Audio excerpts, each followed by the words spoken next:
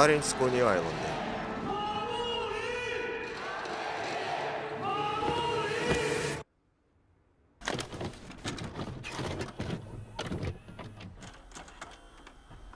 Путь Стефана Марбери.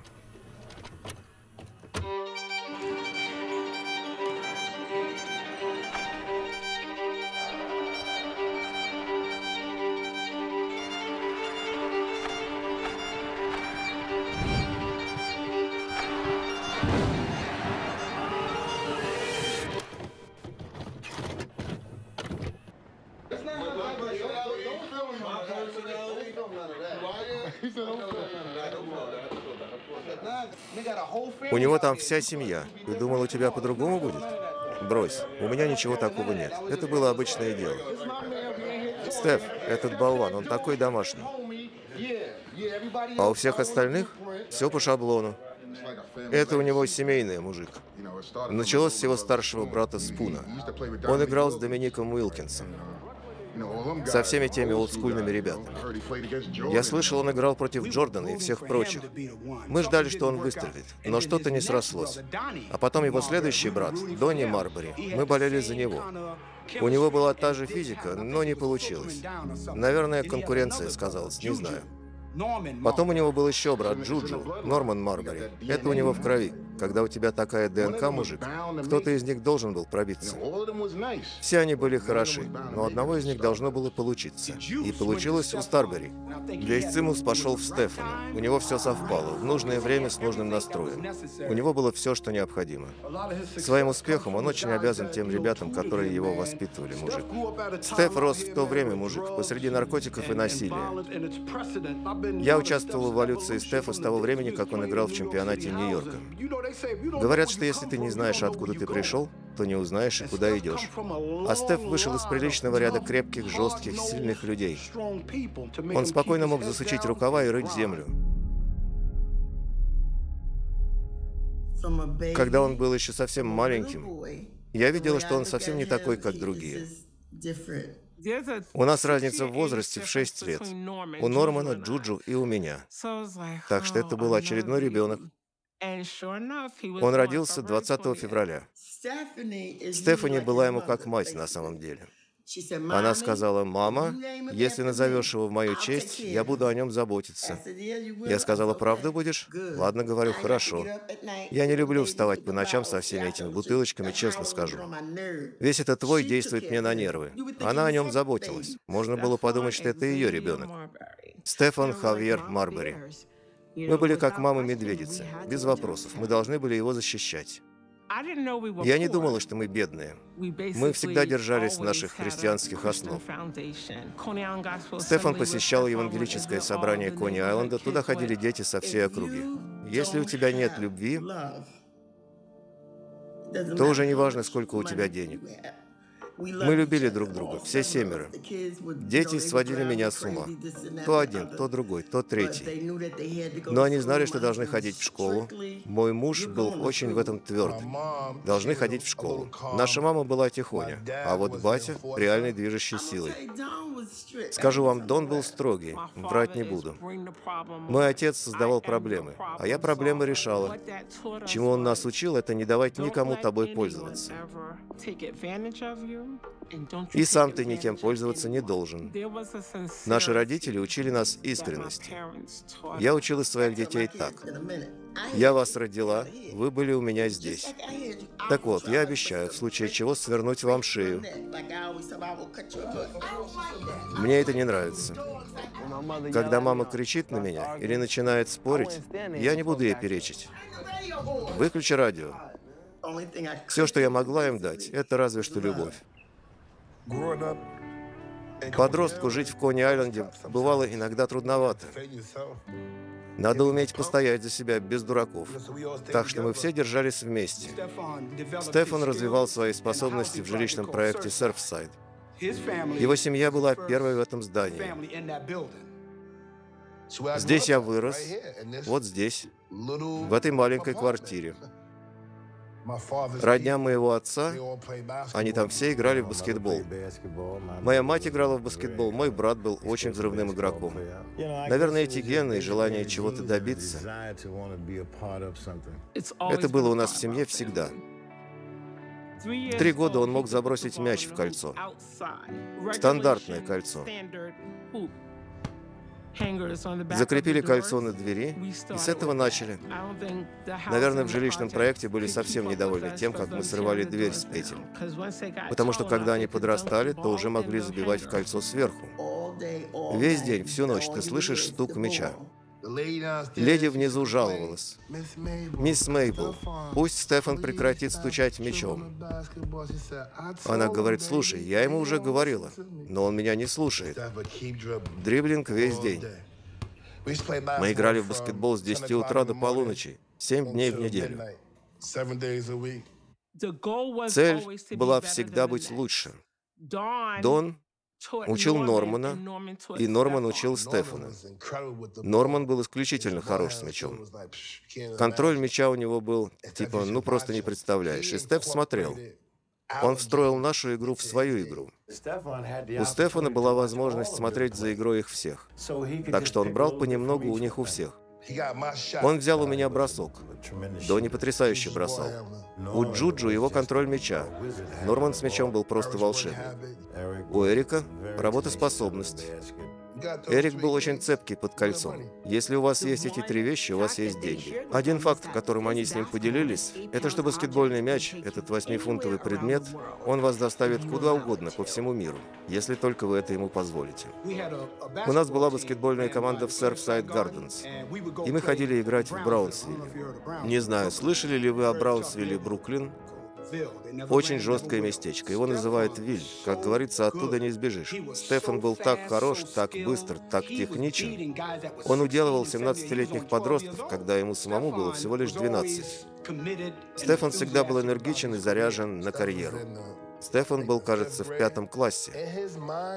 Все мысли были пойти в НБА. Он сказал матери, «Я куплю тебе новый дом, я вытащу тебя отсюда. Говорю тебе как есть. Я вытащу тебя отсюда, обещаю, мама». Когда читаешь в журналах, что ты лучше 11-летний, голова начинает пухнуть. У нас был способ его успокоить. У тебя в этом доме есть обязанности, которые надо исполнять. И ты ничуть не лучше других. Ничего ты такого не сделал. Чего нос задирать? Пойди попробуй поработай против этих ник в лиге. Они покажут тебе, что почем. Остановить этих громил? Давай, дружок, попробуй стать лучше нас. Мы учили тебя стать лучше. Мы делали отжимания, приседания, прыгали со скакалками из проводов. Так что если по заднице попадало, было больно. А мой брат только повторял «давай, давай, давай». Всего две минуты. У него две минуты длились 10 минут. Тяжелая работа. Беготня вверх-вниз по лестнице, чтобы икры были сильными. Мы все ждали этого момента. Мы толкали его. И он был на баскетбольной площадке всю ночь. Дело не только в его таланте, потому что его даже не считали в семействе Марбери лучшим по его данным для игры в баскетбол. Но у него был козырь в виде воли и драйва, и его было не остановить.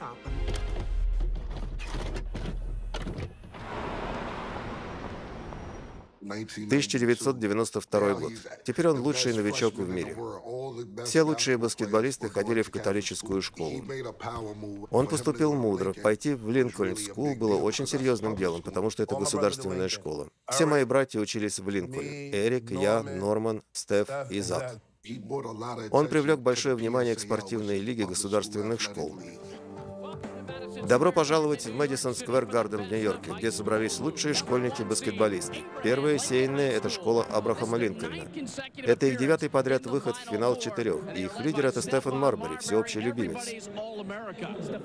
Стефан Марбери — это, можно сказать, образец нью-йоркского школьника, разыгрывающего. Стеф был настоящий разыгрывающий. Он знал, как вести игру, как атаковать, увлекать в игру остальных.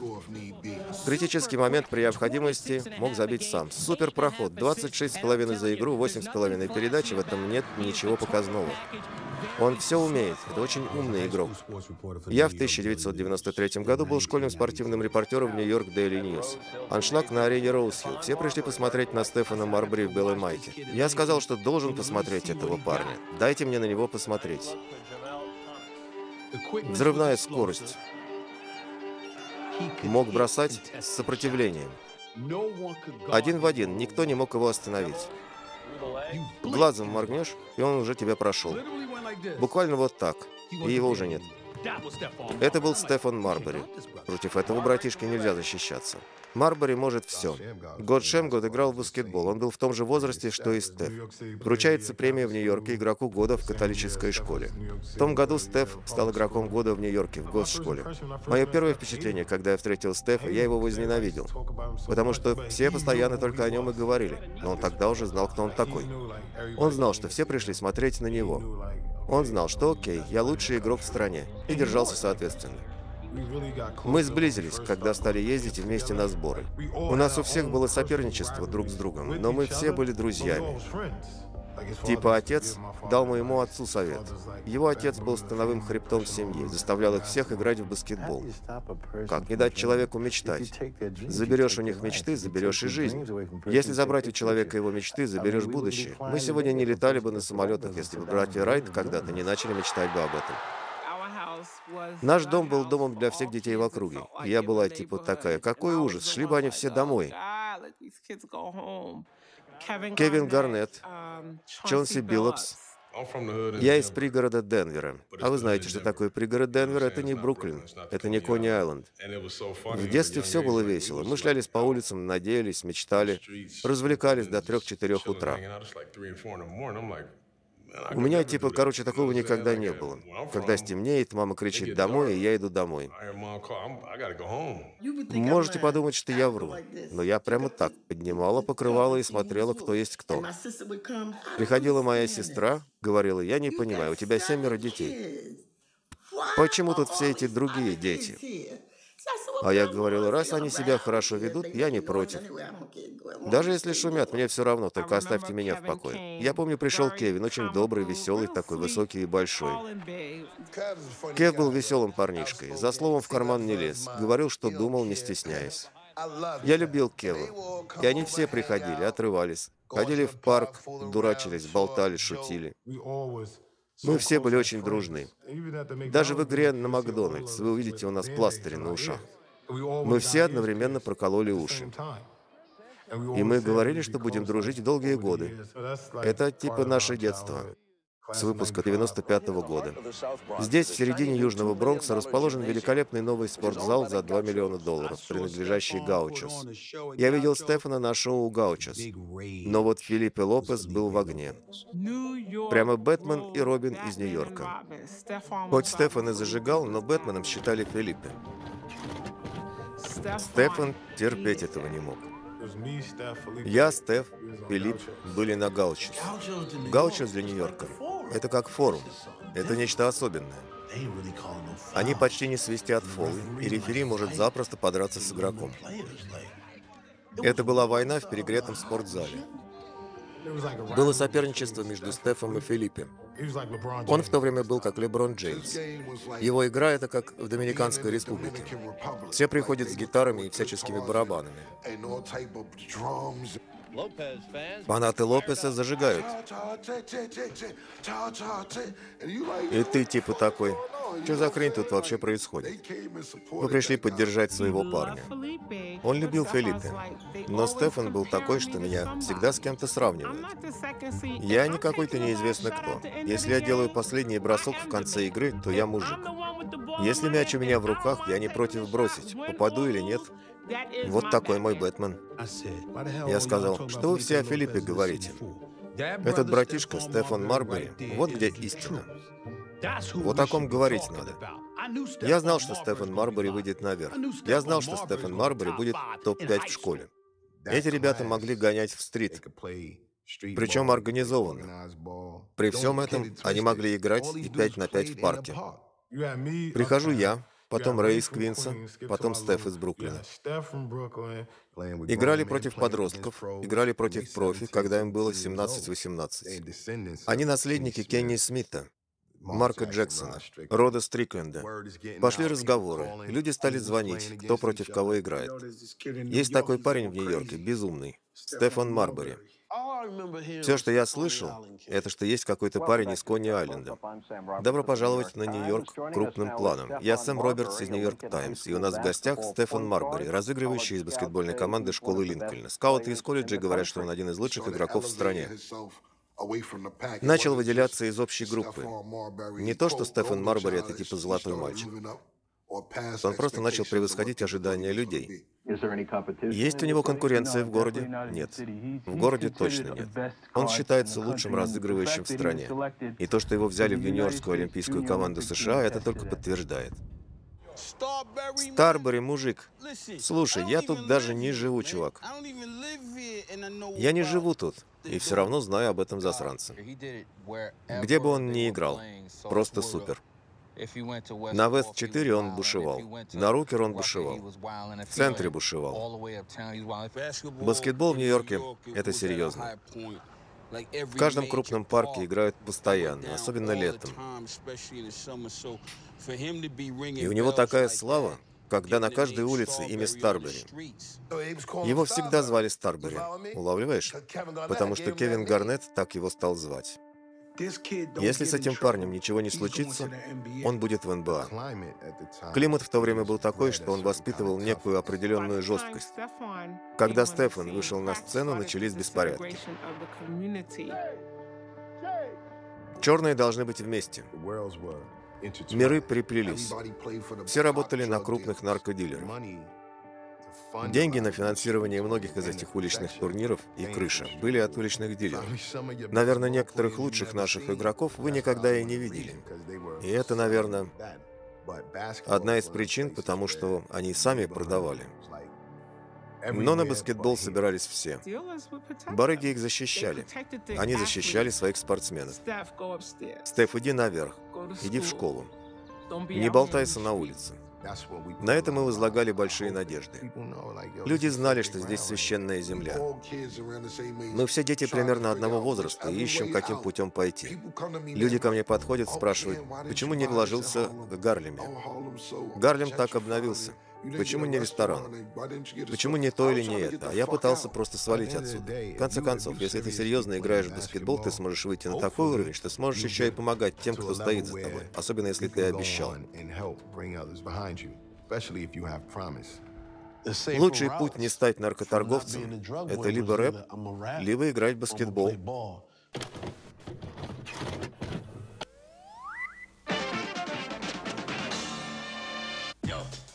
Хип-хоп и баскетбол. Он парень, рожденный в хип-хопе. Его вырастили бруклинские улицы. Как и все из этой среды, баскетбол был выходом, раз ты не умеешь читать рэп. Рэперы хотят быть баскетболистами, баскетболисты хотят быть рэперами. В 90-е это была не просто музыка, это был стиль. Это было все, это было лучшее время для всего, что выходило из Нью-Йорка. И так я и смотрел на Стефа. Он же с Кони Айленда. Он как Вутанг из своего Шаолиня. Конец 90-х, это Моб Дип, потом нас. Все это замешано на баскетболе. Писалась история, и Стеф был в самом ее центре. Если спросишь меня, в тот именно момент, кто был лучший разыгрывающий на улице? Это Раф. Ну нет, Раф был лучший разыгрывающий на улице. Раф не был лучшим разыгрывающим. Ты тогда определи, что такое улица. О чем ты говоришь? Сам понимаешь, о чем? Ты должен... В плане финтов, в плане энергетики на публику, не вопрос. В игре. В игре. Однозначно. Стеф его делал. Ладно, с этим не спорю. Стефан Марбери – необычный 17-летний подросток. Когда ему было всего 13, каждый, кто интересовался происходящим в нью-йоркском баскетболе, все о нем знал. Много всего происходит в школьные годы. И то, что он мог соревноваться на таком уровне, показывает его зрелость, и что баскетбол был у него в крови. Это огромная нагрузка. Вряд ли обычный человек поймет, через что ему надо пройти. Все думают, что этот парень просто играет в баскетбол. Его приглашают на телевидение, он в новостях. Но это все очень давит на человека во многих смыслах. Я всегда говорил ему пытаться побольше веселиться и быть, так сказать, нормальным, как все 18-летние.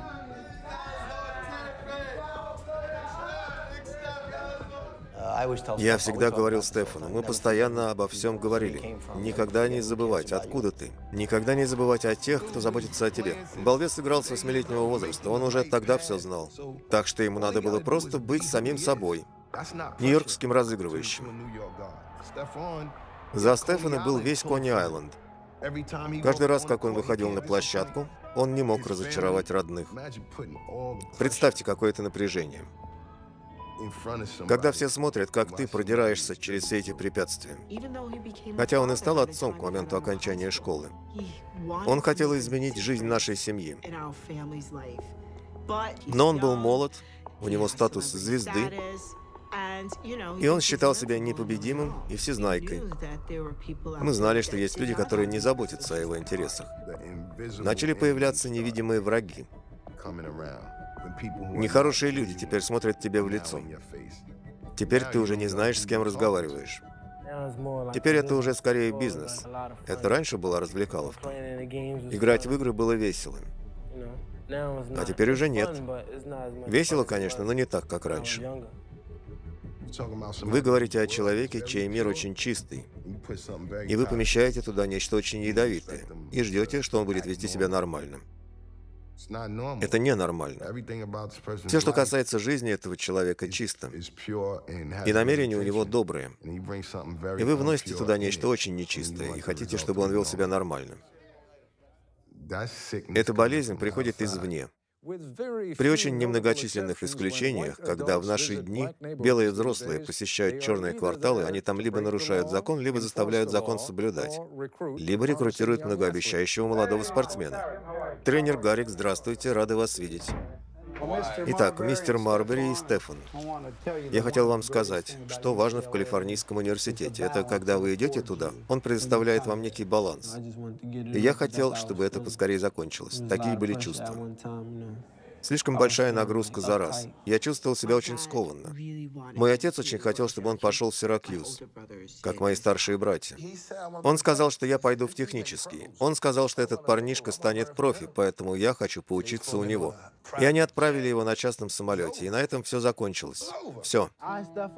Я Стефан Хавьер Марбери, со следующего года буду учиться в технологическом институте Джорджии. Для семьи Марбери тяжесть этого решения была почти невыносимой. В следующем году мои мать и отец вручают меня в ваши руки и хотят, чтобы вы меня защищали и запомнили все то хорошее, что будет у нас в университете.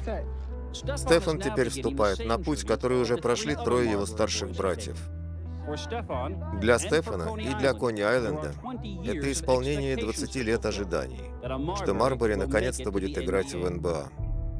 Было тяжело. Ты должен справиться. Если не справишься, если подведешь, а люди так надеются. Они видят, что ты можешь сделать для молодежи в своей округе, показав им возможность выхода. Он видел, как моя мама ходила в снег при минусовой температуре. Только чтобы в доме было что поесть.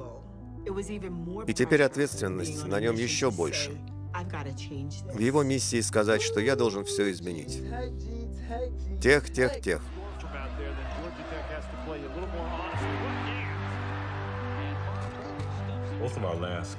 Две мои последние игры в колледже, там вообще-то мы сбегали с площадки, а он по ней бегал. Это было такое прощание. Я знал, что это его последняя игра, и он это тоже знал. Бобби Кременсу повезло, что он получил его на один сезон в университете. У меня не было вопросов, он обязательно будет выбран на драфте. Но потом я стал смотреть, как там у Алина Айверсона. Я увидел Рэя Алина в университете Коннектикут, и еще кого-то, и я типа, сами понимаете, понял, что конкуренция есть. Ты всегда мечтал оказаться в НБА. 20 долгих лет. Сегодня вы окажетесь там, где сбываются детские мечты, на фоне города Нью-Йорк. Там сейчас лучшие молодые игроки мира стоят у порога двери, ведущие в НБА. День драфта. День драфта был нереальным. один из самых запоминающихся дней в моей жизни. Мы прошли через множество предварительных вещей. Пару дней до этого он уходил, потому что была гонка разыгрывающих между ним и Алином Айверсоном, которого мы все любим. Ребята, если вам нужно сделать выбор между Стефаном Марбери и Айверсоном, что вы будете делать? Что касается стиля, у тебя новый тренер, новый генеральный менеджер. Как ты будешь играть? Здесь, в Нью-Йорке, все единогласны. Это должен быть Марбери. И они сказали, что будет либо Филли, либо Милуоки. Мы все знали, что Аллен будет первым. Я это знал. Под первым номером драфта 1996 года в НБА Филадельфия 76ers выбирают Аллена Айверсона из университета Джорджтауна. Конечно. В драфте 1996 года в НБА Милуоки Бакс выбирает Стефана Марбери из университета Джорджии.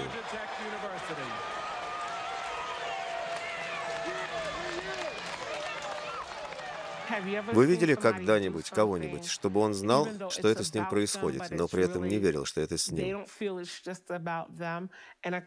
Наверное, вот так и было в день драфта. Думаю, это больше было для других моих трех братьев, что они получили шанс увидеть на майке фамилию Марбери. Стефан Марбери. Сбылась мечта у всей семьи. Там долго мечтали, что кто-нибудь из них когда-нибудь сыграет в НБА. И вот мечта сбылась. И вот он, Стефан Марбери. Не только мамы льют слезы в этот вечер. Когда он был еще маленький, он всегда мне говорил, «Мама, я пойду в НБА. И, мама, я куплю тебе замечательный дом, какой захочешь. 20 лет он гонялся за мечтой. И мой брат говорил, что кто-то из нас будет играть в НБА. Не знаю, кто именно, но кто-то точно будет в этой лиге. Я даже не могу объяснить, что я сейчас чувствую. 20 лет. 20 долгих лет я ждал этого дня. И вот он пришел.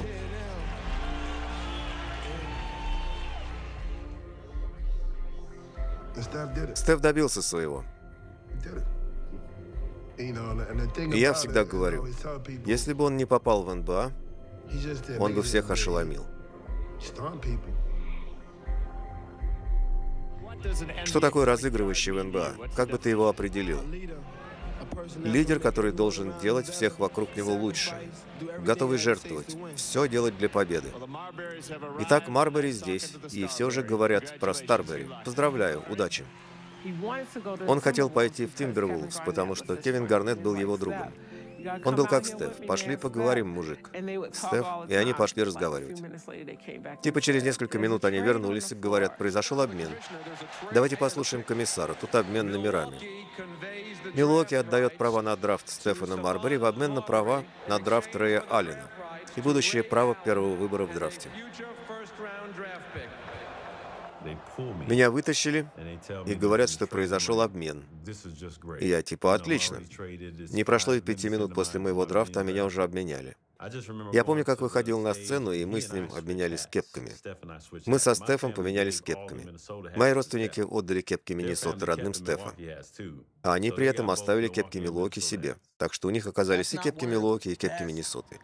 Это был один из лучших, если не лучший драфт, который я только видел. Коби, Стеф, Стив Нэш, Марбери, ничего себе. От Бакс до Тивулс, это ж одуреть можно. От Бакс до Тимбервулс, одуреть. Клянусь, у Миннесоты есть будущее. Когда пришел Стеф, это были Бэтмен и Супермен. Это вам не Бэтмен и Робин. Если ты смотрел на Кевина Гарнетта и Стефана Марбери хотя бы 20 минут, ты бы решил, что там где-то какой-то чип.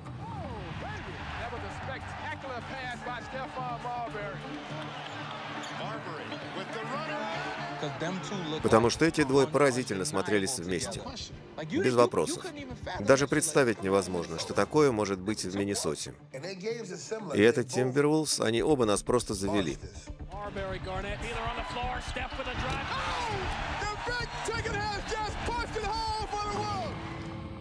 Им обоим нравится вас убивать.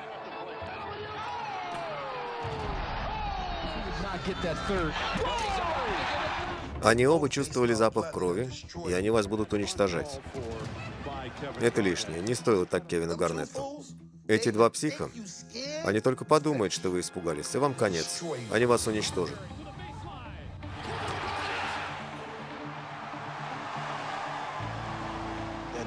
Чутье из Нью-Йорка у Стефа. Плюс Кевин Гарнетт и вся их страсть. Это нечто невероятное. Это было типа как шоу, смотреть на их игру. Шоу.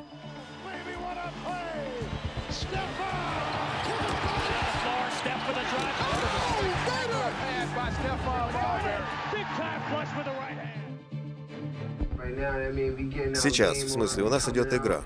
Мы выходим и зарабатываем уважение со стороны тех, кто и не думал, что мы добьемся того, чего мы сейчас добились. Это наша игра. У нас есть проект, чувак. Где будем жить, сынок? Где-нибудь в Централ Парк Вест? Что будешь маме покупать? Большой дом, слово надо держать. Никого не бойся, будь сильным. Он просто фантастика с большой буквы. Его игра. Фильм Спайка Ли. Его игра. Столкнулся со Спайком, когда играли в Гардене, и он мне сказал, что будет снимать этот фильм. Что это будет фильм про баскетбол, что снимать будет в Кони-Айленде, и мы поняли, что там будет кое-что из жизни Стефана. Многие великие баскетболисты вышли из Кони-Айленда, но большинство так ничего и не добилось. А как насчет Стефана Марбери? Он своего добился. Да, твоя правда твоя. У меня было такое чувство, что я это он. Это должен был быть он.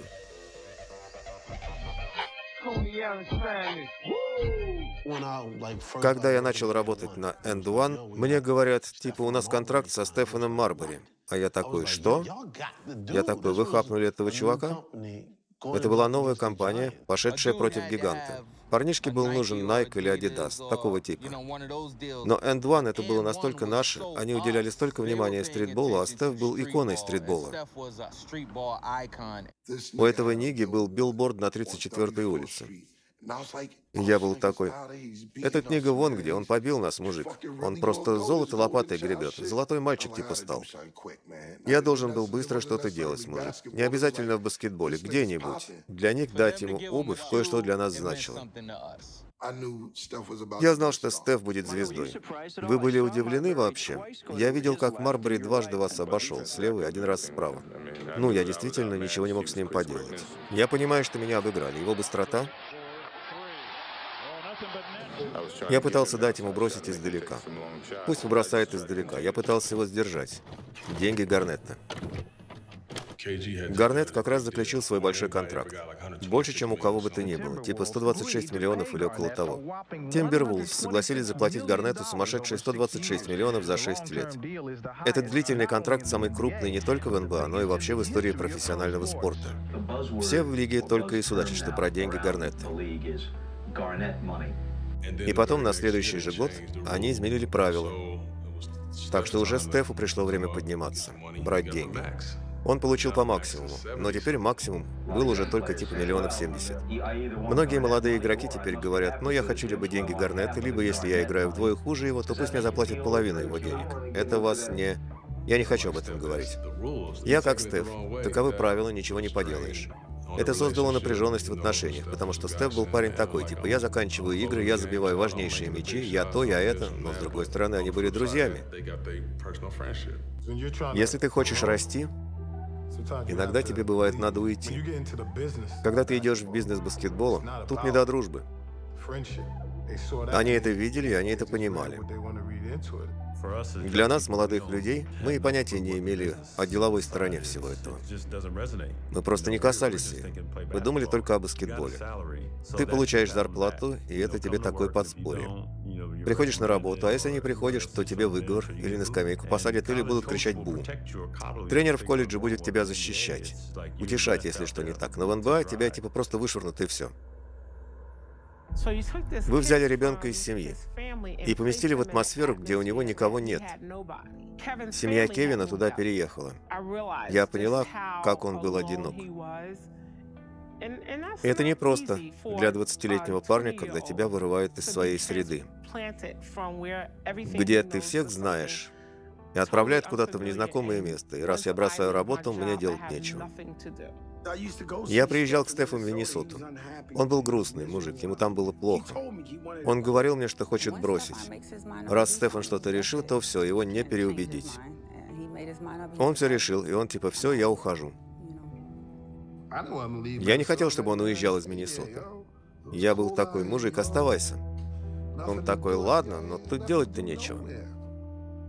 Но он ушел. Я сказал, что в НБА устроили так, чтобы вы с Кевином играли вместе. Если бы он остался в Миннесоте,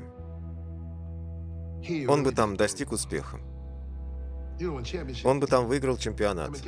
Они с Кевином выиграли бы чемпионат, я в этом уверен. Кевину было очень больно, что он ушел.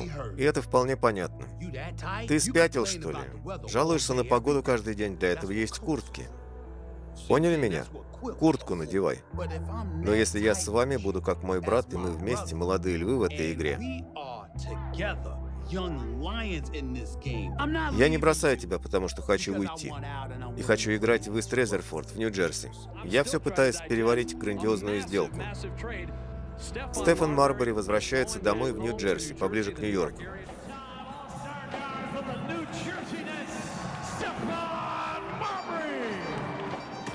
Игроки до смерти его боялись. Маленький монстр. Вот как я его звал вцепится в горло и привезет вам 30, 40, 50 очков. И это весело, потому что мы смеемся, я говорю Стефу, это же весело. Смеемся над НБА. Я говорю, если ты сейчас не можешь стать забивающим, разыгрывающим, то ты никто. Я сказал, если ты играешь сейчас с этими дураками,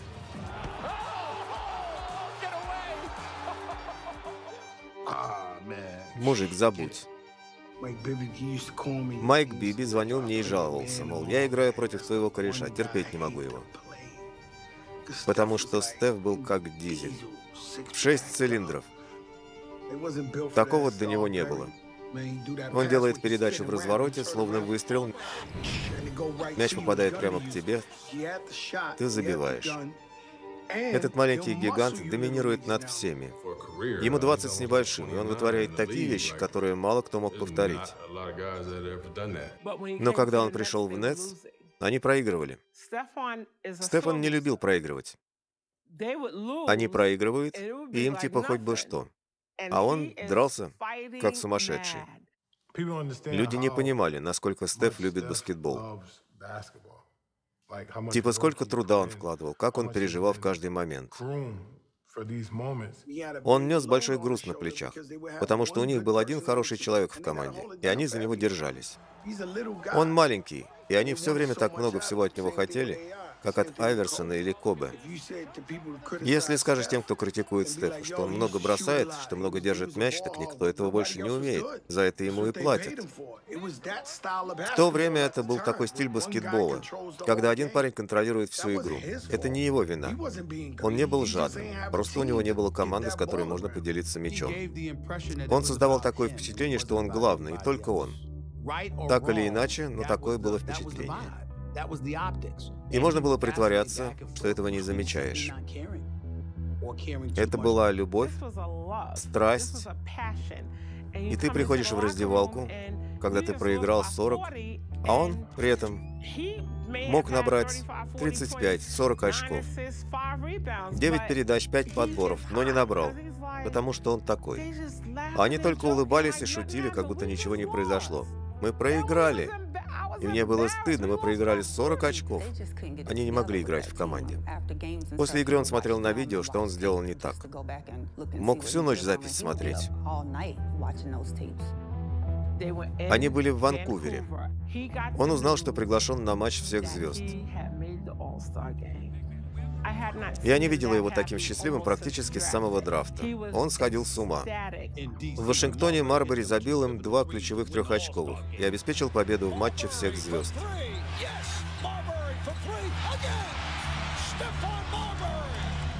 Это надо было видеть. Он всегда считал, что он лучший в своем деле. Говорили, что он нос задирает. Я бы так не сказала. Думаю, наши родители приучили нас быть уверенными в себе. Лига пыталась выглядеть красиво. Весь этот дресс-код, который Айверсон часто посылал куда подальше. Остальные тоже попадали в неприятности из-за этого. И потом Стеф. Они не хотели, чтобы он был самим собой. Ну, как Чарльз Баркли. Я не пример для подражания. Они там. Им нужен костюм «тройка» с бабочкой и всем прочим. А наш пацан вообще-то с Кони Айленда. У него тату на шее. Он был как рэп-звезда. Многие шоумены хотели заниматься баскетболом. Так появился EBK.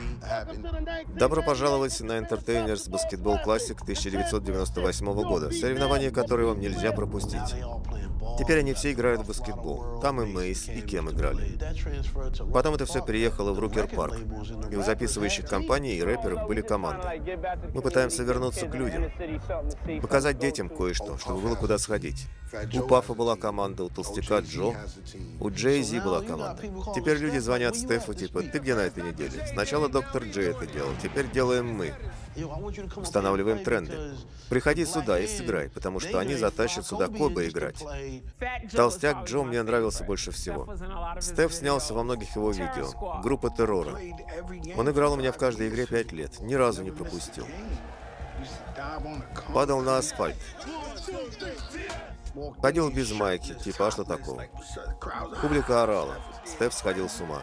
У Нью-Йорка ехала крыша. Бруклин шел на Бруклин. Потом появлялся толстяк Джо. Это было безумие. И Стеф так делал, шел низко, очень низко, как будто типа кости какие-то особые. Надо понимать, что Стефан Марбери был лучшим в истории баскетболистом в Нью-Йорке.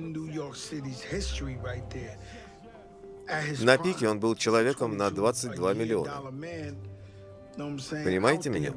И он всем показывал, что ты можешь стать важной птицей, но ты должен возвращаться назад. Когда умер Пен, он мне позвонил, типа, как жаль Пена. Стеф любил Пена. Он сказал, посмотри сегодня игру. Я сказал, хорошо. И мы сели вокруг дома Пена и смотрели игру. Стефан так обычно не делал, а тут он сотворил самый идиотский дикий данк, пролетел в воздухе несколько метров. Ноги в воздухе вот так оказались. Это было для Пена. Хотя он и любил быть крутым и представлял хип-хоп-культуру, он всегда был уважителен и заботлив к своей семье. У меня все отлично, мужик, понимаешь меня? Здесь, в Рукере, отлично. В Нью-Йорке любят баскетбол. Я тут сейчас главный, управляю всем районом. Понял меня? По мере того, как Стефан Марбери становился старше, он становился более дерзким. Стефан Марбери становился более откровенным. Все меньше скрывал свои чувства, говорил, что думал, прав был или нет. Говорил тебе в лицо все, что думал. Это все Нью-Йорк в нем сидит. И все, если ты из Нью-Йорка, ты говоришь, что думаешь, говоришь, что на сердце. А некоторые люди этого не выдерживают. Мне не нужно твое одобрение. Я не говорю того, что ты хочешь услышать. Начинается пресс-конференция, и он такой, типа, да, хорошая была игра, но было как бы легко. Поняли меня? Типа, это потом будут годами вспоминать. Каждый раз, когда его меняли, или когда он был с чем-то не согласен и хотел уйти куда-нибудь еще, все такие, ну, ты нас вынуждаешь. Вы хотели обмена? Вы просили обмена? Я не просил обмена, так получилось. Я как Род Торн, когда ему хотелось куда-то уйти. Пресса пыталась выставить его таким человеком, с которым трудно работать. Его называли в числе 25 самых ненавистных спортсменов из-за его партнеров. Кто из игроков говорил, что он самый худший партнер? Те, кому он в раздевалке мог сказать, что они выкладываются только наполовину?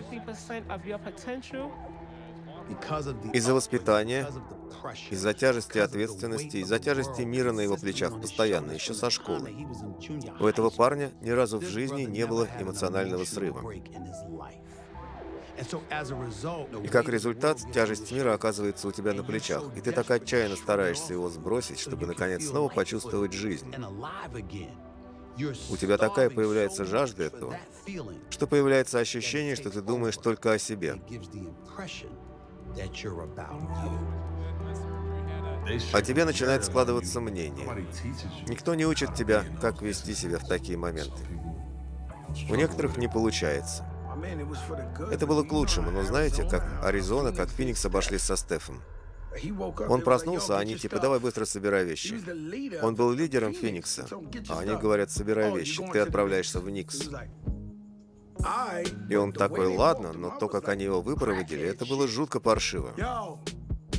Бери семью и убирайся отсюда. Куда? В Никс. Дом, милый дом. Стефан Марбери едет домой в Нью-Йорк в рамках большой сделки с Феникс Санс. Антонио Макдайс отправляется обратно в пустыню.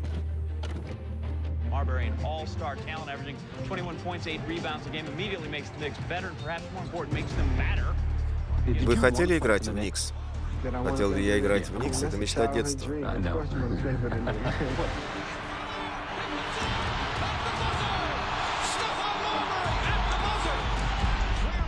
Радость, праздник, все это было отлично. Все радуются. Мы не только хотим побеждать, поставлена задача стать лучшими. В лиге очень мало таких игроков, как он. Снова Нью-Йорк Никс становится серьезной силой в Восточной конференции, благодаря приобретению Стефана Марбери. Старбери. Кроссовки, которые ты ждал, наконец-то. Кроссовки Старбери уже в продаже. Стеф пытался создать кроссовки по цене ниже 20 долларов, чтобы их могли купить все.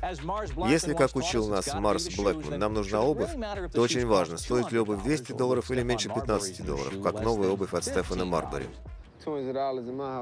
200 долларов в моем доме — это продукты. Продукты на месяц, с купонами и так далее. Я не только говорю, но и сам надеваю эту же самую обувь, на которую все тратят свои деньги. Когда он начал всю эту кампанию в Стив и Барри, это было типа вау. Забудьте большие компании по выпуску кроссовок. Теперь все должно быть иначе. Старбери, он думал о детях, о тех, кто не может позволить себе Джорданы. Он сделал свои кроссовки дешевыми, чтобы другие дети смогли их покупать. Это говорит громче всяких слов, мужик. Дети, которые растут так же, как росли мы, могут позволить себе купить кроссовки своего любимого игрока и не откладывать при этом на них деньги, как откладывал я. Но ты же хочешь, чтобы ребенок одевал в школу Бобо? Нам нравятся модные вещи, но в конце концов есть соображения реальной экономики. Люди пытались из-за этого издеваться над ним. Я такой, за что? За то, что он сам сделал что-то свое? Потом появляется кто-то вроде Леброна Джеймса и начинает. Я никогда не надену кроссовки за 20 долларов. Леброн, конечно, очень крутой парень, и одно его слово может как бы похоронить кроссовки. Поступила информация, что компания Стив и Барри сегодня подала иск о банкротстве. Он сразился с машиной, у которой огромные деньги, слишком много звезд, и которой наплевать на цены. Мне не нравились эти кроссовки.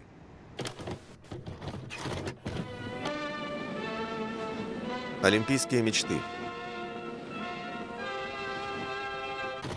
Олимпийский кошмар.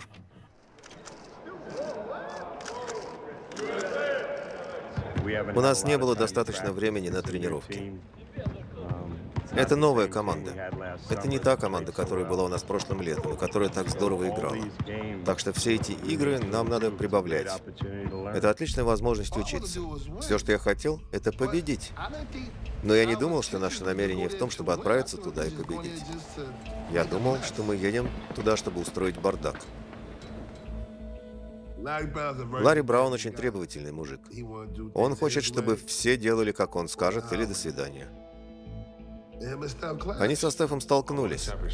Я с Ларри выиграл чемпионат. Я люблю его до смерти. Я что угодно для него сделал, но он сумасшедший. Если бы я никогда не играл с Ларри и должен был бы играть у него только 8 недель, дело было бы плохо. Стеф упрямый. И он упрямый. Стеф сказал, что этот болван сказал мне идти вправо. Я пошел вправо, а он опять идет сюда и говорит, что я пошел не туда. Стеф сказал, ты только что сказал мне идти вправо. Он говорит, нет, я хочу, чтобы ты пошел туда. Стеф сказал, минуточку. Я знаю, я тебе не нравлюсь, но все же. Ты мне только что сказал, пойти вправо. Он был очень недоволен. Его пытались отправить домой, и он очень расстроился. Стефан, единственное, чего он хочет, это победы. И все. Стеф сказал, я встану в 6 утра, чтобы сесть на автобус и не пересекаться с ним. Сказал, что не хочет проблем. Это первое поражение команды США с игроками из НБА. Есть люди, которым кажется, что раз ты в команде США, то ты просто всех переедешь. Они вышли играть против некоторых из этих ребят, которые потом придут в НБА из всех этих заморских команд. И поняли, что все очень круто. У нас большое событие, великие игроки, игроки из зала славы. Но нельзя же просто так выкидывать ребят на площадку и говорить, мол, давайте играйте сами. Это было разочарование, потому что ты знаешь, что все ребята очень талантливые, и что у них есть силы. И ты как бы недоумеваешь, что вообще происходит. И впервые с тех пор, как появились игроки из НБА, США не смогли победить на Олимпиаде. Не будет золота в Афинах. Они выиграли бронзу. Это была первая команда со времен Dream Team, которая не привезла домой золото. Ларри Браун назвал виновным в значительной степени Стефана Марбори. А на самом деле он должен был посмотреть на себя, потому что было в команде несколько игроков, которым не нравился Ларри Браун. Самое постыдное событие в мире. Америка проиграла. Это было типа, ну все. Это было настоящее несчастье, потому что у людей именно они стали ассоциироваться с неудачей. Единственная американская команда, которая не выиграла золото.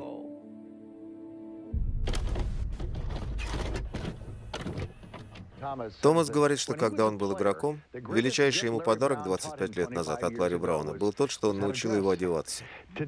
Сегодня Томас был одет с иголочки, когда он представлял своего нового главного тренера, элегантно одетого Ларри Брауна. Я знал, что это будет кошмар. Мужик, просто кошмар. Я думаю, вот всего двое ребят. Оба такие упрямые, мужик. Добро пожаловать в Никс. Но у меня было чувство, что если бы было какое-то общее основание, то Стеф бы влюбился в него. Как я влюбился. Как Айверсон. Но за все надо платить, мужик. Нью-Йорк Никс. Постоянно проигрывающий. На вид совершенный мусор. Я думал, что Ларри Браун станет чем-то вроде спасителя. Но это была полная помойка. Ларри Браун был в зале славы. Айзея Томас был в зале славы. Твое резюме их не волнует. Потому что если я не выигрываю, то на кого я первым делом посмотрю? На игроков. И он был Старбери. Когда ты не слышишь, что игроки разговаривают о команде, это не весело. Я больше не дам ему что-либо говорить обо мне и не буду ничего говорить в ответ. Этого не будет. Я попытаюсь сфокусироваться на ребятах, которые думают о команде. Я просто сел и смолчал, но больше этого делать не буду.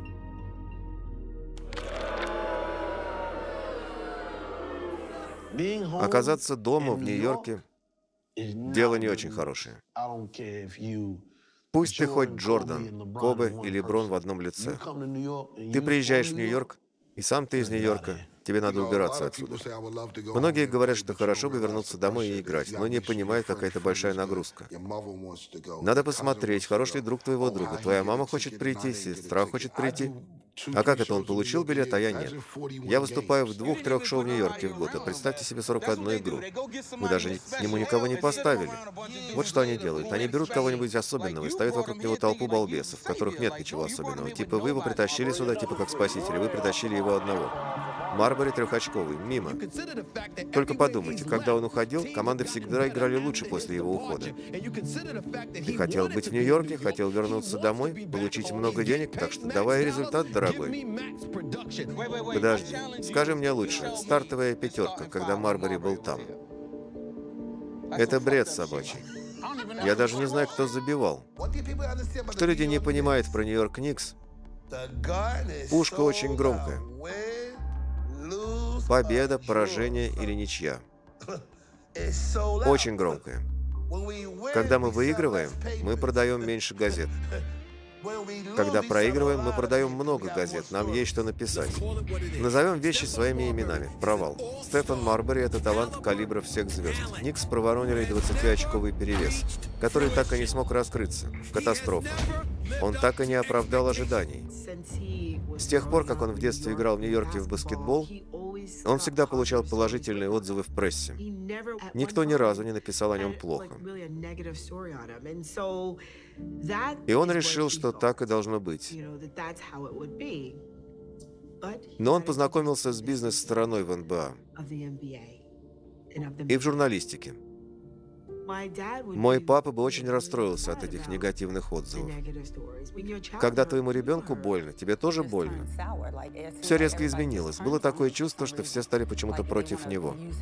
Типа все захотели сделать из него козла отпущения, раз не получается выиграть. Никак не могут выиграть, мне уже надоело.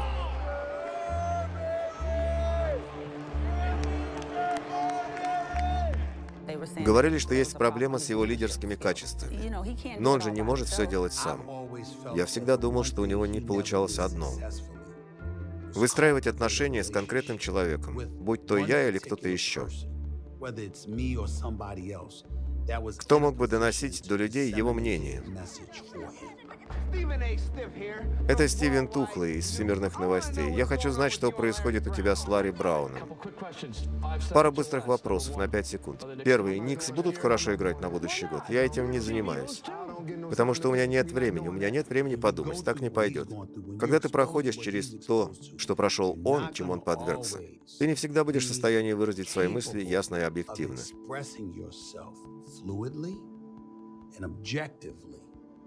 Тебе будет нужен кто-нибудь, кто будет это делать за тебя. Я не знаю никого, кто бы этим когда-нибудь занимался у Стефана Марбери. Наверное, это ранило Стефа больше всего. Что он не чувствовал любовь города. От каждого.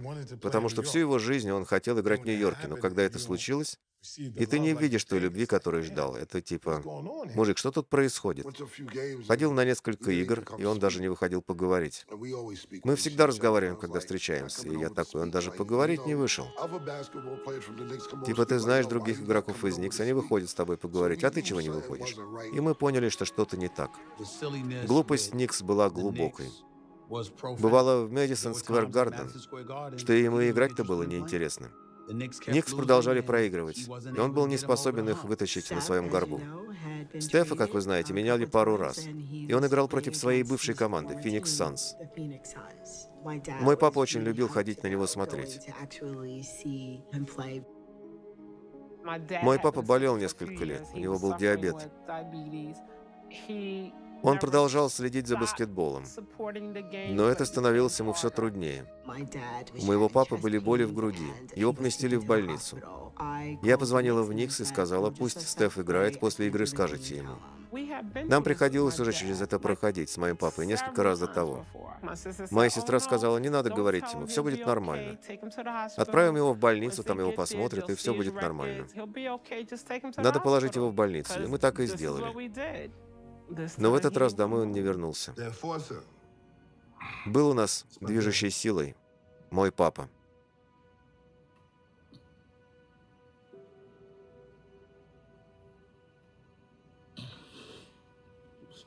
Простите.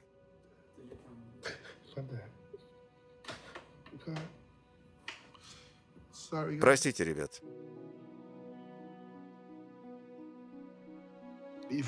Он потом переживал, типа, я был на площадке, играл, а мой папа скончался. Долго не мог успокоиться.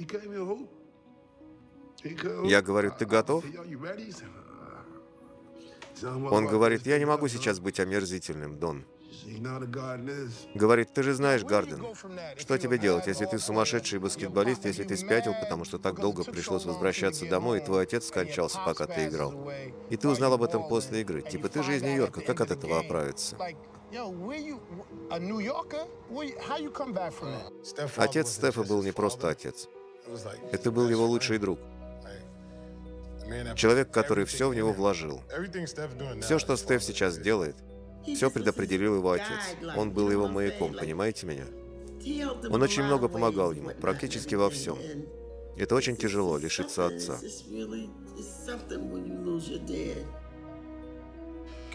Можешь представить, получить работу, о которой мечтал всю жизнь, А потом, прямо тогда, когда ты на этой своей работе, которую так любишь, ты теряешь одного из самых важных для себя людей. Можно только догадываться. Потому что мистер Дональд был не только его отцом, он был отцом и для тех, у кого не было отца. В нем всегда было столько любви, он всегда улыбался.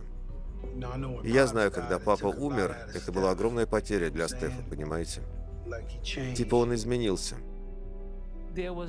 Словно туман, который...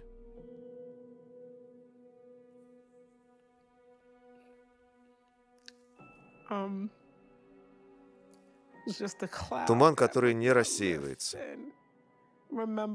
И помню, как пошла домой к Стефану побыть с ним. Легла на кровать и плакала. И он плакал, и я плакал. Если убрать эту динамику, мощную динамику из семьи, она распадется. Ты знал, что должны были быть какие-то потери. Эмоциональные потери. Я думаю, люди это в Стефе видели. Я не играю в баскетбол в Нью-Йорке. Никому я не нужен. Ну и ладно.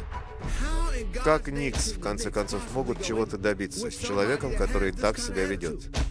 Как можно быть таким тупым? Они пытались загнать меня в угол. Ну, посмотрим. Стефан Марбери сегодня отстранен на одну игру клубом Нью-Йорк Никс за отказ сыграть в среду вечером. Ему будет еще и штраф на 400 тысяч долларов. Думаю, это все неправильно. Думаю, это несправедливо. Думаю, отношения порваны, и теперь нам надо быть мужчинами и идти вперед.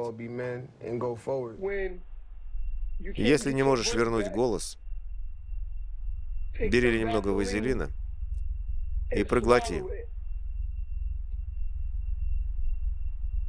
И он поможет. В тренировочном лагере все дошло до абсурда. Все превратилось уже в комедию. Видеть, как игрок сидит, а партнеры играют, а он сидит рядом, это странная ситуация.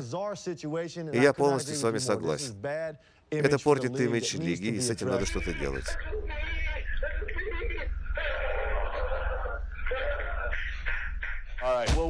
Бракоразводный процесс. Ладно, решайте вы. Стефан Марбери под кайфом или сумасшедший. Получите. He had no home, and here's blue skies. Can you hear him crying?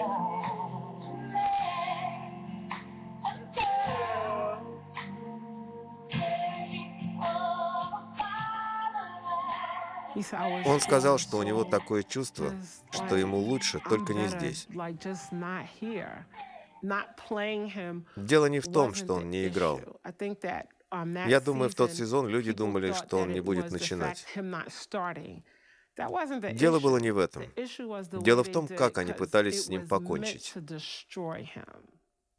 Но в Библии говорится, ни одно орудие, сделанное против тебя, не будет успешным. Ничто, что будет создано. Это не значит, что этого не случится, но не получится достигнуть той цели, для которой это делалось.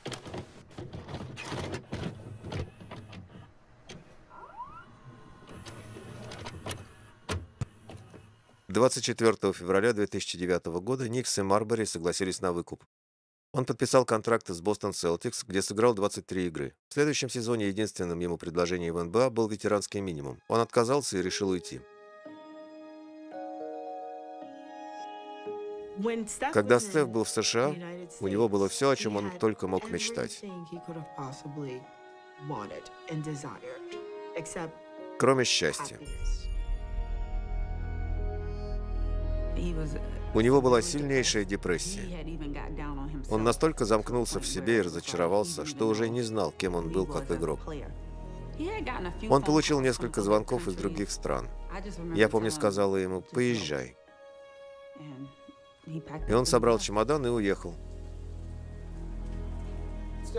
Стефан уехал. Это как будто что-то в нас сломалось. Наши сердца и дух как бы надломились немного, потому что он увез с собой частичку нас. Китай, ты с ума сошел? Ты точно ума лишился. Он говорит, нет, мама, я поеду, поеду.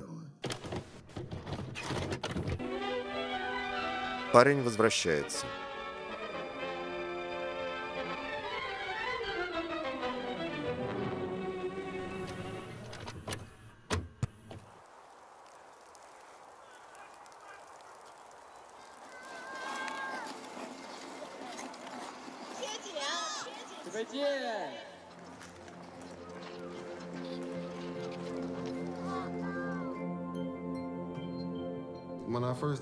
Когда я впервые сказал ей, что еду в Китай, она отреагировала. «Это же далеко». Она сказала, «Ну, Бог везде, так что с тобой все будет хорошо». Самолет выглядел так, что он вот-вот разобьется. Я держался изо всех сил. Мне тогда жить не хотелось, типа, зачем? Такое было тогда настроение. Эта вся ситуация в Нью-Йорке, это все убило мой баскетбольный дух. Я сидел в самолете и был в супер депрессии. Типа, что я вообще делаю? Я зарабатывал 20 миллионов в год, а теперь ноль. Передо мной встала смерть. Когда я давал пресс-конференции, никто в Америке и не знал, что я здесь. Через два дня узнали, что я играю в баскетбол в Китае. Масса репортеров тут же такие, давайте забирать его из Китая, он загрязнит страну. Забудьте о баскетболе. Дело больше не в баскетболе.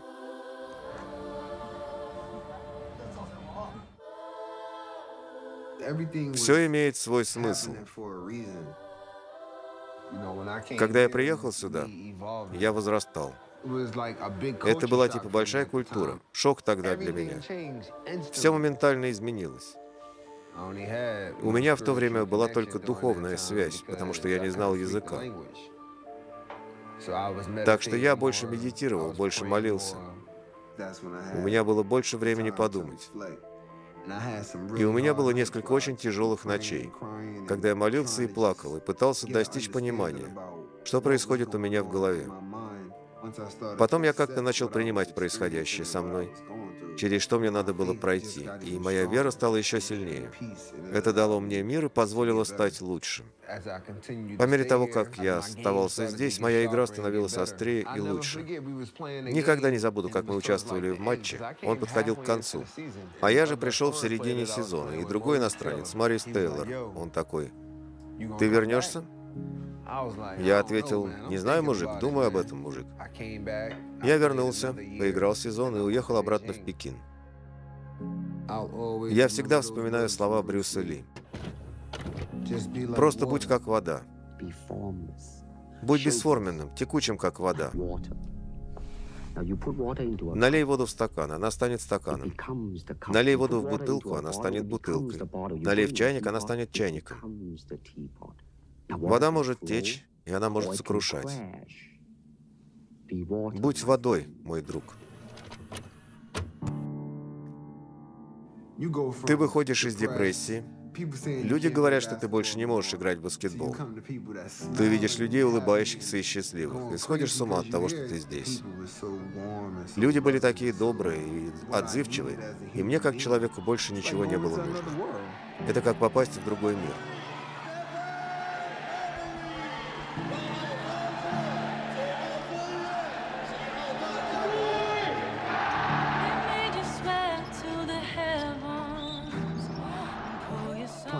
Играть в баскетбол – это единственное, что мне в жизни давало комфорт и радость.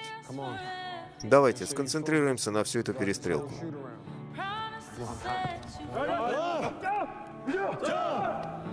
Давай, Джин, хватит тут сидеть, я тебя прикрою. Большой друг, если будешь так делать, то откройся, дай ему пройти.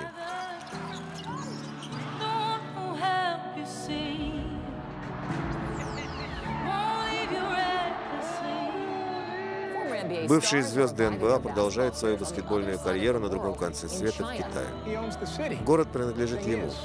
Только этот город Пекин.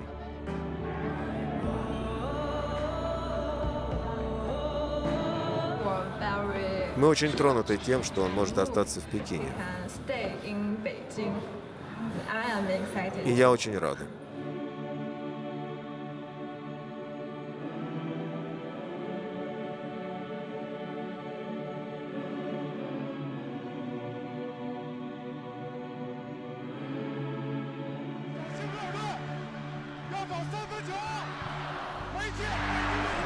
В 2012 году Стефан привел Пекин к первой победе в национальном чемпионате.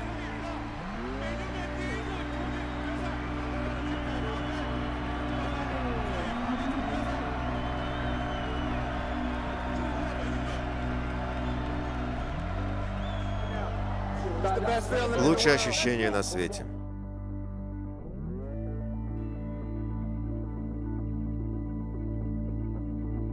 子一样，擦干眼泪，老马努力控制着自己的情绪。对于闵鹿队，对于北京队，都是一个值得纪念的时刻。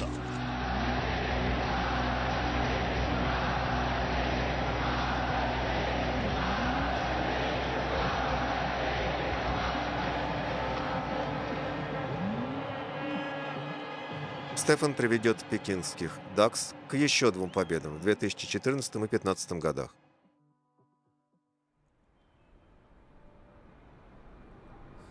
Пекин, Китай, 2018. После шести лет и трех побед в чемпионатах с пекинскими «Дакс» Стефан ушел в пекинские «Fly Dragons» на свой последний сезон. Coach, Тренер, мы вернулись? Мы вернулись. Ладно, понял. Ты как? Я отлично. Для 40-летнего старика неплохо. Как сын? Отлично, только мало играет. Силен как бык. Но у него нет этой крепости Кони Айленда. Так что мне надо с ним заниматься. Любит баскетбол? Любит, но еще и любит быть ребенком. Это нормально, я знаю, ничего этом нет такого. Просто в этом разница между мной и им. Я любил только одно — играть в баскетбол. Знаю, Стефани мне как-то очень давно говорила, что Стефан любит только две вещи. Девочек и баскетбол. Стефани мне это сказала, когда ты был в шестом или седьмом классе. Музей Стефана Марбери, Пекин. Это первый чемпионат, который он выиграл в школе. Он в тот год выиграл чемпионат города. И это была моя первая победа. Это приз Найсмита. Это все очень старое. Моя мама все это собирала, с ума сойти. Сколько тут профи из НБА? 1, 2, 3, 4, 12, 13, 14 профи с выпуска 1995 года. Это много. Это фото сняли, когда мы выиграли с Сиреной у Сперс в первой игре.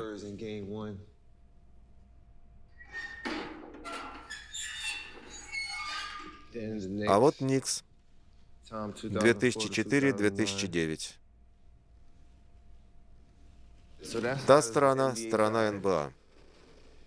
А эта сторона — Китай. Это первый чемпионат, когда все начиналось. Это такие штуки они делают. Это любовь. Многие ребята такого не знали. И все это так было с момента моего приезда.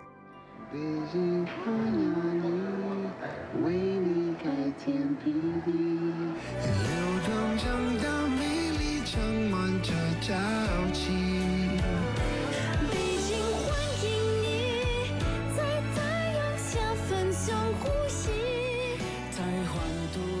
里相信沉寂。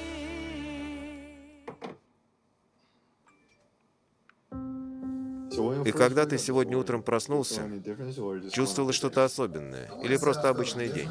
Не скажу, что что-то особенное чувствовал. Конечно, это поворотный момент, время перемен в моей жизни. В смысле того, чем я занимался так много лет. 11 февраля 2018 года. Последняя игра Стефана. В этой точке моей карьеры пришло время сделать игре прощальный поцелуй и попрощаться с площадки со всеми фанатами.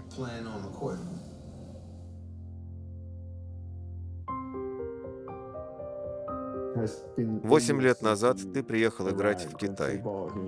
В чем была самая большая перемена? Я думаю, я вырос как человек, потому что дал другой культуре проявиться во мне. Уехать из Америки и приехать в Китай играть в баскетбол – это, конечно же, баскетбол. Но думаю, как человек я получил возможность понять других людей. Я очень рад, что получил возможность такого опыта.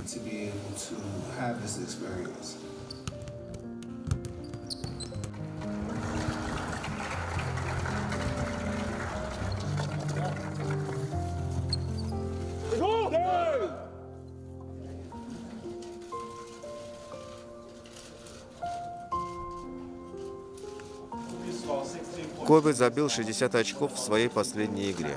Как насчет 60 сегодня? Ты в последний раз выходишь на площадку, прощаешься со всеми фанатами. Я думаю, это важнее, чем забить и 100 очков.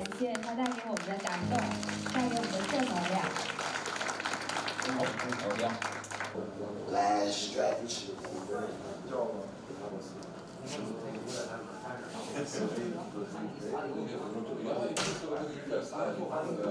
谢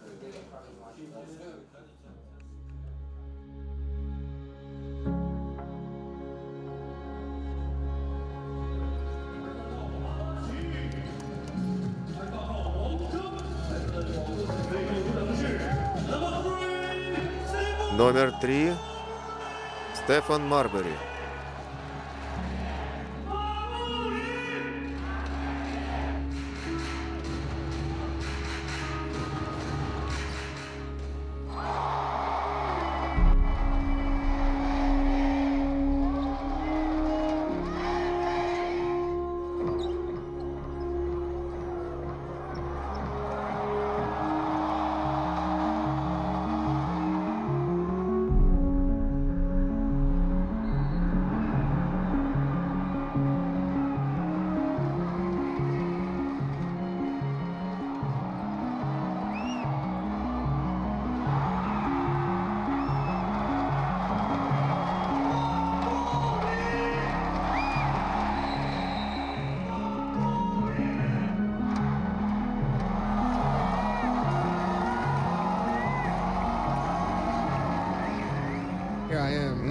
Я в конце концов перед вами. Вы видели, как я поднимался ко всем этим волшебным моментам. Но боль поражения все равно у меня в сердце. Я рад завершить карьеру здесь, в Китае. Именно здесь, не в НБА, не где-то еще. Здесь она должна была закончиться. С вами и только с вами. Спасибо вам всем. Любовь — это любовь.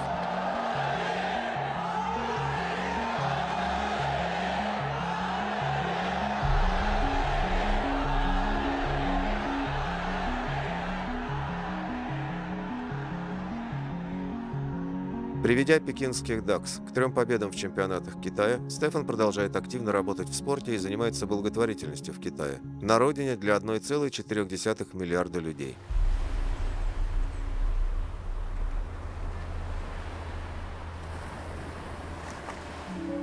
Кони Айленд, Нью-Йорк, 2018 год.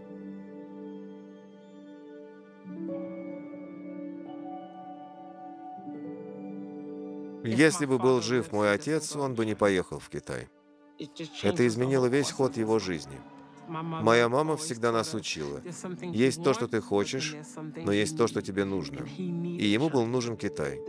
Эта страна ему помогла. Она приняла его. Увидела все лучшее в нем. Ему там статую поставили. Мать его Китая. Он там бог, мужик. Типа статую поставить. Сечешь, чернокожий человек, бог в Китае. Нет, не надо. Он там тоже бог. Черному парню из Кони Айленда поставили статую в Китае. Приехать сюда было здорово. Тут много чего появилось. Теперь мама наверняка получает продуктовые талоны вовремя. Как говорится, один вход, один и выход, когда ты приезжаешь на Кони Айленд. Так что, когда ты входишь, смотри, не заблудись. Здесь все и началось, и я стал тем, кем стал. И почему я делаю то, что делаю, и думаю то, что думаю. Наследие Стефана, очевидно, продолжает созидаться.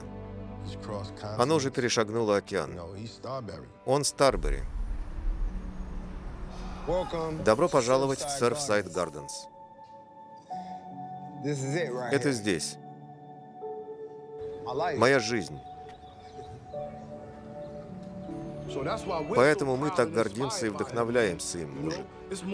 Тут много таких историй, просто их не рассказывают. Течешь? Мы рады, что каких бы проступков он ни насовершал, он в итоге стал очень хорошим человеком, братан. И это для всех нас. Мы все это несем с собой. Он принес нам гордость, мужик, когда тут не было ничего, кроме бангало, кучи камней и перестрелок.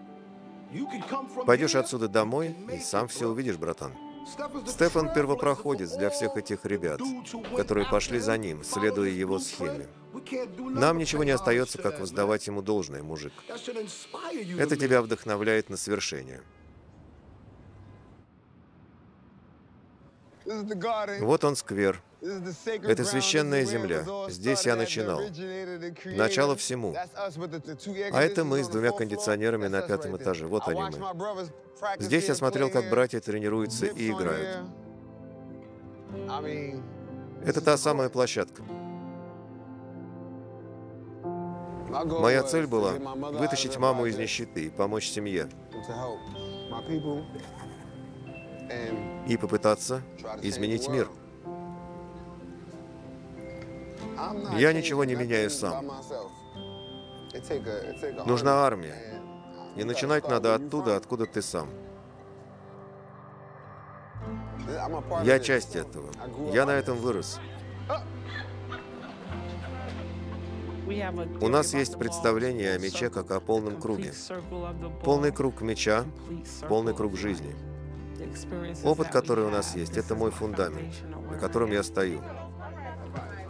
Мой брат всегда говорил, что этот круглый мяч может отправить тебя вокруг света.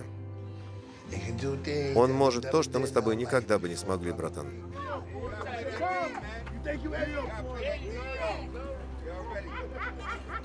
Каждая мать желает счастья своему ребенку.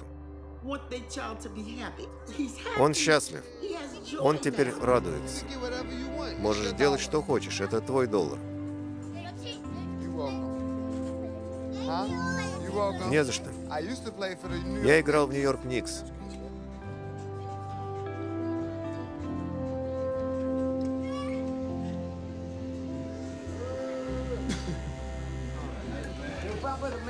Папа, человек хочет постричься, мужик. Привет, папа. Как дела, братан? Рад тебя видеть, мужик. Готовы? Он хочет, чтобы люди поняли, что ты можешь лишиться славы, но ты можешь все равно потом встать. Это Китай. Этому месту около пяти тысяч лет. Это кубок чемпионата. Я видел. Мы его выиграли. А здесь меня сделали гражданином Пекина.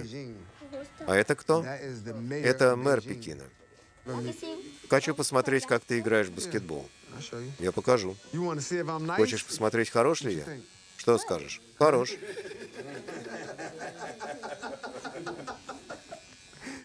Это мой кумир. Всем покажу. Очисти свой ум. Будь бесформенным, текучим, как вода. Вода может течь, и она может сокрушать.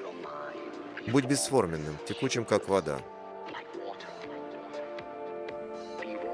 Будь водой, мой друг. Чем ты теперь будешь? Водой. Теперь я чувствую. Что ты чувствуешь? Чувствую силу. Чувствуешь силу? Нравится ощущение? Хорошее ощущение, да? Можешь жить здесь, где ты сейчас.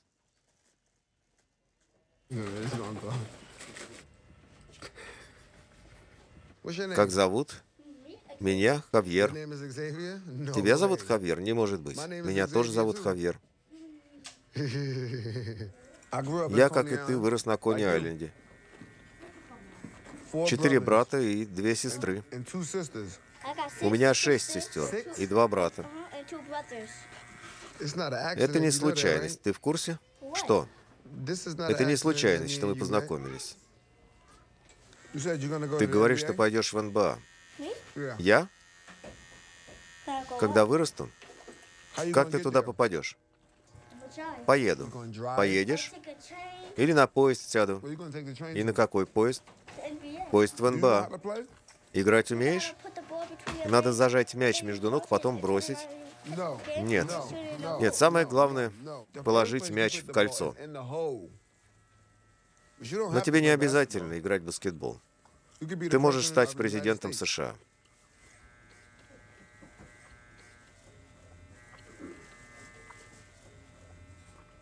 Тебе никто этого не говорил? Чего? Что ты можешь стать президентом США. Если ты президент США, то значит ты сможешь помочь людям на Кони-Айленде. Мне никто не говорил. Я понял.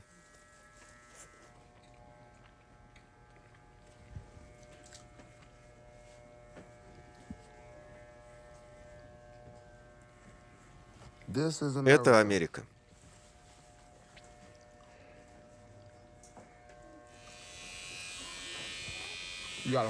Ты хорошо постригся. Будешь завтра готов к школе? Хавьер. Мой документальный фильм будет о тебе.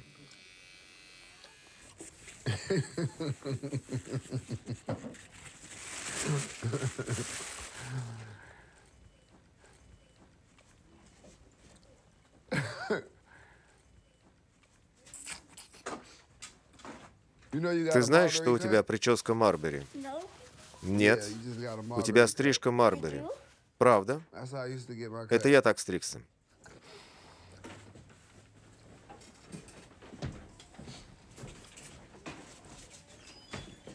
Бери ранец, мужик.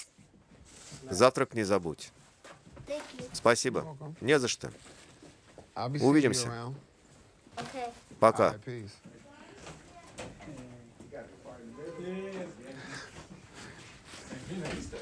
Все, Все,